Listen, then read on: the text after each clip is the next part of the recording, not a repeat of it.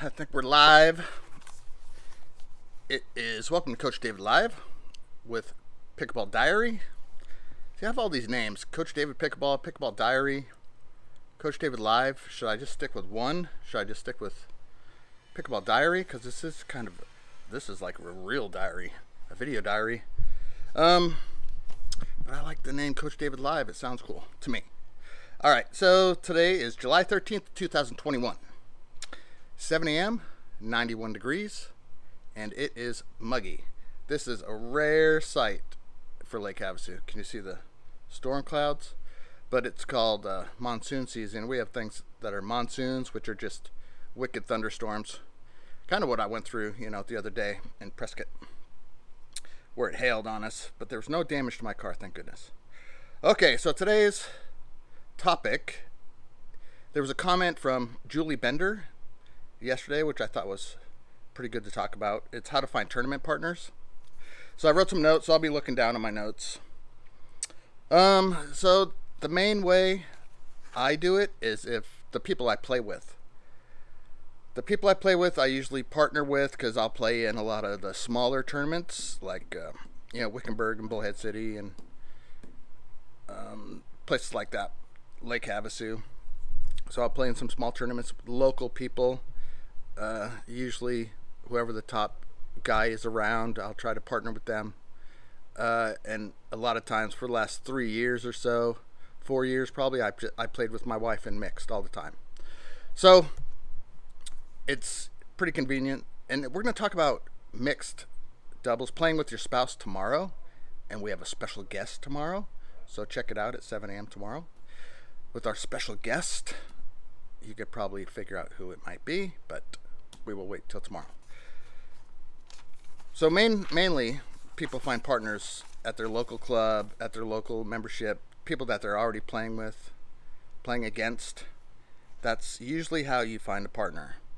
Now, if you go to bigger events like out of town and to find people within your age and skill on pickleballtournaments.com, once you sign up for a tournament, there's a spot that says playing needing partners. So you go on the playing needing partners list, you find somebody looking for somebody in your division, and you email them. That's how it works through their system. A lot of times, um, if I kind of know the person already or are familiar with them or I know they're familiar with me, I will instant message them through Facebook Messenger. That's a lot of times I get uh, they usually respond that way because a lot of people for some reason don't respond through the playing needing partners email or they don't respond quick enough because a lot of times you got to sign up and pay the day that the registration opens because a lot of these brackets fill up. The 5 it was easy to get in 5 divisions because those brackets hardly ever filled up because there's not a whole lot of 5 and then a lot of the yeah and then pro, that was pretty hard to find partners. Um, and then now that I'm a 4-5, it's going to be easier to find partners, but they're doing construction back here behind us at the that big house up there. Um, so at 4-5 is going to be easier to find partners, but the brackets are going to fill up faster. So it's going to be more difficult. It's nice, man. If you can get one partner that you play with all the time, that's the best way to go. That's why a lot of these pros just play with one same the same person all the time or rotate through, you know, two or three of the same people cuz you you figure out how they play and this game's all about partnerships. It's all about how to play with your partner. It's we aren't all Ben Johns that can, you know, take a whole court and still win the game. Um, a direct message, local players, uh, another way is people you meet at tournaments. They either beat you or you liked how they played and you thought, oh, that would match my style of play. That's what Tin Man does that a lot. So Greg, one of our players here in Havasu, he will. I mean, he's very outgoing. He'll he'll ask anybody, hey, I like how you play, and he's super nice and everybody likes him. So he will uh, ask people from these tournaments if they'll play in another tournament with them. So that's that's pretty cool.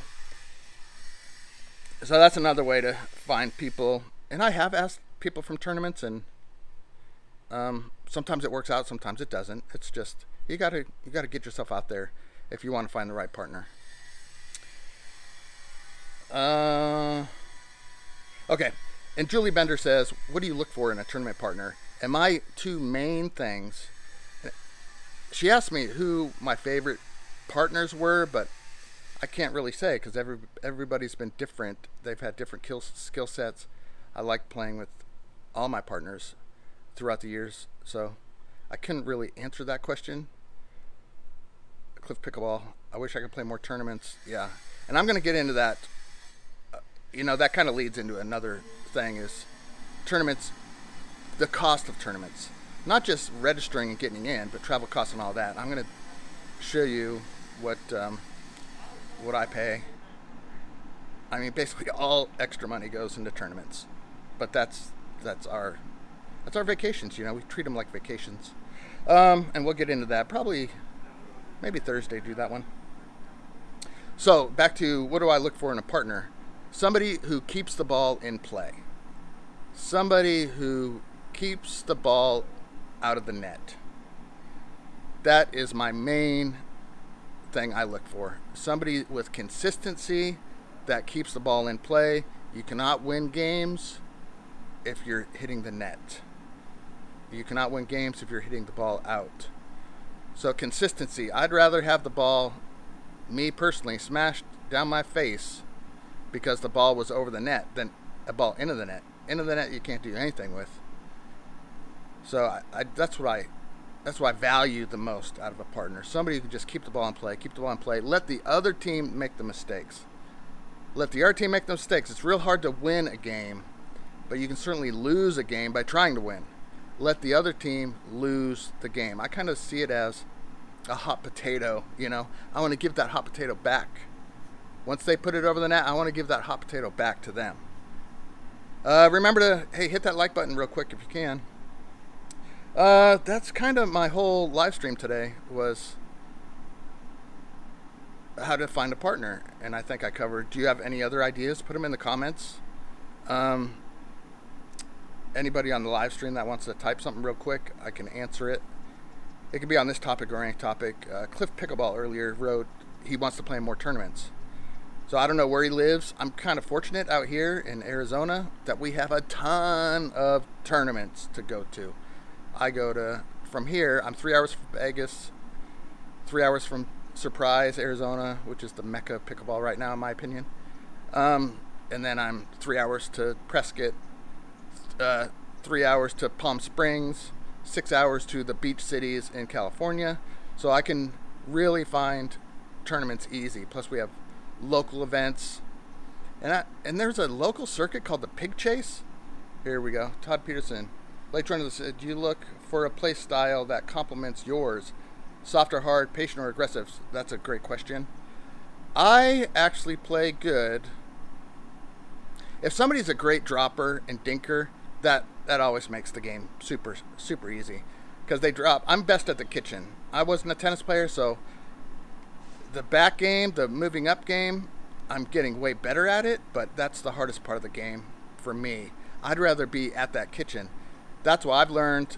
I've did all my practice for years is just dropping the third, getting me and my partner to the net, because it actually works better in mixed for me. Because if you can't hit a, a wicked tennis drive, you're not rolling over anybody. Everybody, for the most part, can block a shot unless you can drive it like a 5-0 tennis player. And then you can roll over people until you hit a wall. At some point, you're going to find people that can block anything. And then what do you do? If you don't have that drop in your back pocket, you're going to struggle. So me, if somebody does have a great drop and can get me to the net, that's that's easy. But now I'm getting real better at resets and um, working my way up. So if I do have a strong tennis player as a partner, I'm just going to go get ready to shake and bake. I'm going to get I want them to hit that drive, but they have to be good. The ball has to go in play. It can't hit the net. It can't go out the back. We have to give ourselves a chance to win the point. So that was a good question. Um, anybody else out there? Or I'm going to close this out. We're at about 10 minutes. Okay, so if a lot of people don't come on a live stream, but they watch, they watch it after. I get most of my views after, you know, I post on uh, my Facebook page, YouTube in general. So I have like 70, almost 7,500 subscribers. I'd like to get up to at least 10,000. That'd be fun. So if you're not subscribed, hit that subscribe button, hit that bell notification so you know when I post a video. I try to post every day at 7 a.m. Whether or not, and I'm, I probably won't play this week either because it's windy, hot, and muggy, and our indoor courts are closed this week. Let's see, Phil Saunders Jr. Best ways to learn, then practice the third shot drops. Best way to learn and then practice the third shot drops. In my opinion, yes. Constantly practice hitting a third shot drop all the time. when I eventually, you know, because I have a tutor machine, so I would I would try when I was first learning. I would hit every shot under the book, uh, under the sun during my practices. And then eventually, once I got better, I realized when I play, all I ever needed was a drop and a block. Though that was the two main things that got me to 5-0 was a, a drop and a block. So that's what I ended up practicing. And I, I always had practice by myself. Nobody, nobody really likes to drill. They say they want to drill and practice, but most people don't. Actually, they just want to play, which is cool. This is a fun ass game to play. So people want to play. But me, I wanted to get better. So I like to drill. I like to practice. But with one person, you can't practice dinking. That's the hard part. So you need to practice your dinks, drops, and blocks, in my opinion. Those That's the main thing. Okay, great question. All right, guys. That's it. Uh, hit that subscribe button. I'll be back here tomorrow, 7 a.m., with a special guest, mystery guest, and we're going to talk about playing with your spouse. Is it good or bad? And I have a lot of insight on that. Okay, see ya. I'm not going to do the boot now. I'm just going to close out. All right. Thanks a lot. Bye.